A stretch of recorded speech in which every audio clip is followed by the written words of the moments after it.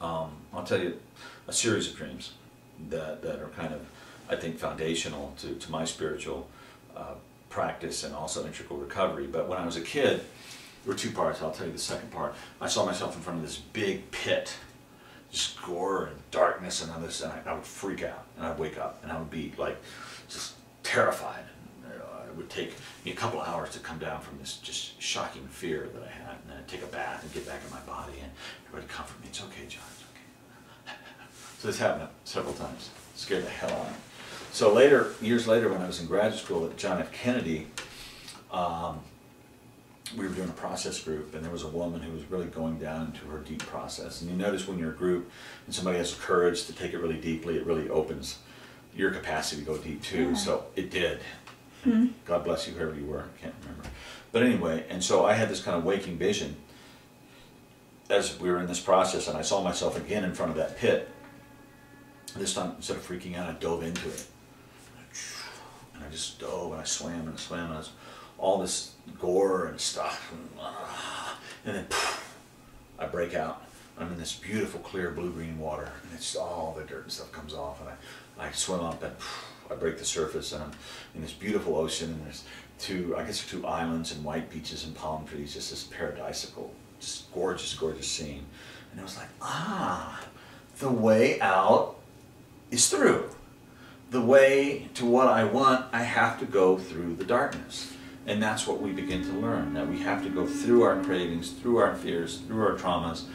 And, it, and when we go through that, it opens up into this much expanded, healed, uh, blissful, wise uh, level, which is our deepest self. So we don't have to worry about it. The deeper we go, the better it gets.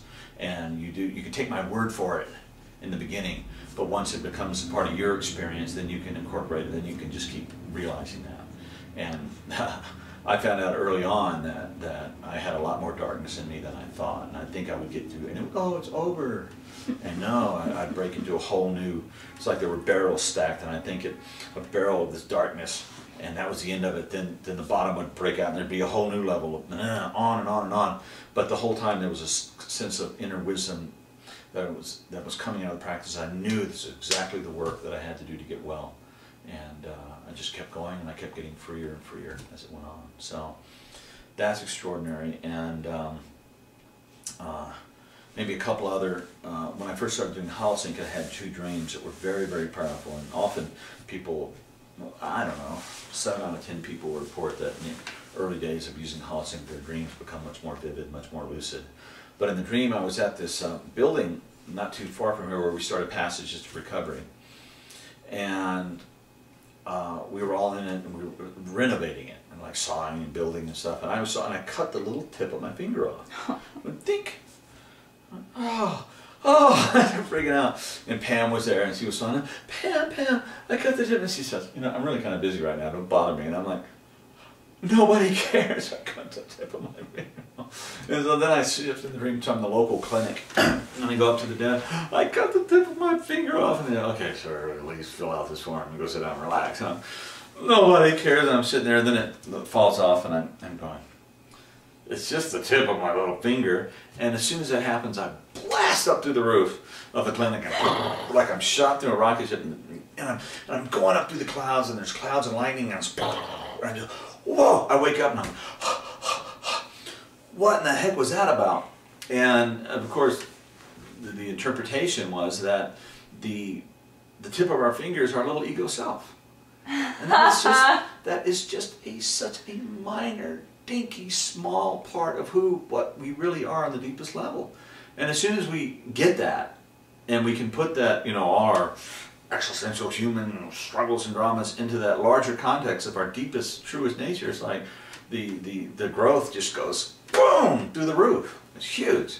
So, and and the second the second dream was I was at this uh, house that I uh, lived at in Houston, Texas for a few years when I was growing up, and um, I, I look out the back window and there's these huge like prehistoric armadillo creatures going on the road, kong kong, and they're like you know big as Mack trucks, you know with with trailers on them, and they're huge. And I'm like, oh my God! And then different members of my family are there in the dream, and I'm trying to get them into the back of the house and protect them, and I'm oh, these monsters, you know. And then I'm, they're going through, I'm looking out my bedroom window and they're going down the street, calm, calm. And finally I go, hmm. And I crawl through my window and I run out there and I of just a somersault over them. And I don't, and as soon as I do that, they go, Rrr. I go, wow, that was fun. And I do it again. And so by the end of the dream, I'm playing with these monsters and they're about the size of a Volkswagen bug at that point. And um, uh, I wake up and it's like, oh, these, these, these horrible wounds and all this shadow and this darkness and stuff, I don't have to be afraid of it. I can actually play with it creatively and it'll be fun. And as soon as I face them, they begin to, you know, they, begin to decrease. And so, you know, all these fears of, of these monsters I had in the basement of my unconscious, it was just very clear that that was the path uh, that I had to go through that. And Christian Meyer, this German teacher, he says, that is the path to enlightenment. Know, I don't know if it's the path to enlightenment, but it certainly is a way to, to explore your deepest nature and your deepest self and, and uh, so, so eminently applicable to the work that we need to do in an integral recovery process because if we don't do that work, it's just not going to work. It's not going to stick. You know, it'll keep coming up to keep causing our neurochemistry to, to be unbalanced and stress and unconscious and self-loathing and all this stuff. And you, what do you want to do? You want to use. You want to numb it out. You want to treat yourself again. You want to go back to that thing that you knew worked for a while anyway. And so we have to go back and deal with that kind of uh, stuff.